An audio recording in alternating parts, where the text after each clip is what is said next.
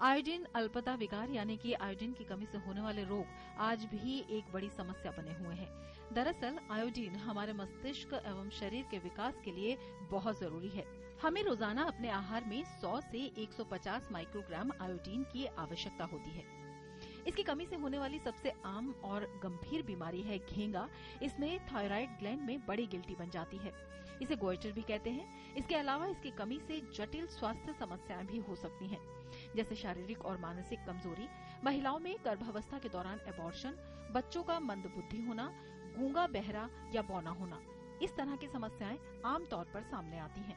40 से 50 प्रतिशत घरों में अभी भी आयोडाइज सॉल्ट इस्तेमाल नहीं हो रहा है। 18 million children still do not get adequate iodine deficiency और यदि छोटे बच्चों में आयोडीन की कमी होगी तो मैंने आपको बताया cretinism intellectual deficiency psychomotor defects और uh, उनकी ग्रोथ नहीं होती है। देश में आज भी करीब सात करोड़ आबादी आयोडीन अल्पता विकार से ग्रसित है। ये माना जाता है कि पहाड़ी और औद्योगिक क्षेत्रों में ये ज़्यादा पाया जाता है पर नवीनतम सर्वेक्षणों के मुताबिक मैदानी इलाकों में भी इसका असर समान दिखाई दे रहा है।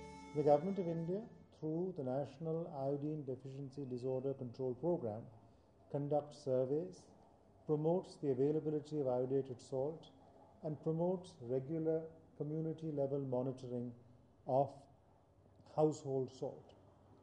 It is essential that greater awareness is created amongst all people. Iodine की कमी से होने वाली गंभीर बीमारियों से आप बच सकते हैं। कुछ सरल से उपायों को अपनाकर जैसे कि आयोडीन युक्त नमक ही खाएँ, आहार में अन्न साग सब्ज़ियाँ, दूध और अंडों को शामिल करें। कुछ समुद्री जीवों में भी आयोडीन पर्याप्त मात्रा में पाया जाता है। इसके अलावा आप चिकित्सक की सलाह से मल्टीविटामिन भी ले सकते हैं। डब्ल्यूएचओ की 2006 की रिपोर्ट के मुताबिक दुनिया भर में आयोडीन की कमी से होने वाली बीमारियों से प्रभावित देशों की संख्या तिरपन थी जो 2011 में घटकर 32 हो गई।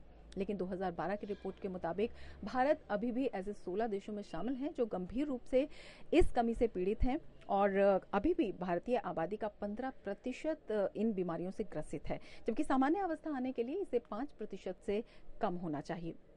इसके परिणाम जितने भयावह हैं, उपाय उतने ही सरल।